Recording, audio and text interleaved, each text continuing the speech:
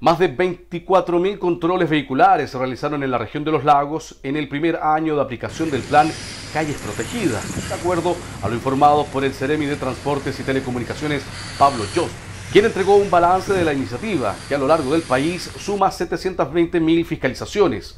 La Autoridad Regional del Transporte puntualizó que durante el 2022 se realizaron alrededor de 17.300 controles en calle al transporte público, al transporte de carga en carretera y este año, a la fecha, se reporta más de 20.000 en la región de los lagos.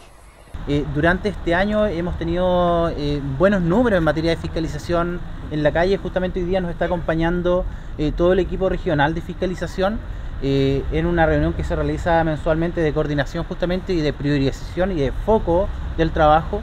Durante el año 2022 se realizaron alrededor de 17.300 controles en calles al transporte público, al transporte de carga en carretera también. Y este año a la fecha llevamos más de 20.000, eh, en torno al 16% más de controles que se han realizado y esperamos de aquí a fin de año llegar al 20% de incremento de eh, los controles.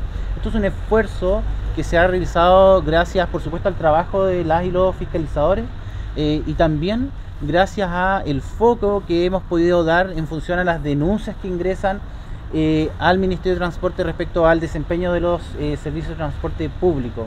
Jost precisó que las labores se han orientado en detectar el transporte informal de pasajeros o comúnmente llamados piratas. En ese sentido también importante señalar que hemos puesto un foco en detectar el transporte informal de pasajeros, lo que comúnmente se llama piratería, eh, y desde el año pasado a este año estos controles son los que eh, se destacan, son los que tienen una mayor cantidad de, citaciones ¿verdad? a los juzgados de policía local, eh, siendo la falta más, más, importante en la región este año. El año pasado eran, era, era la segunda falta más detectada, este año ya está en, la primera.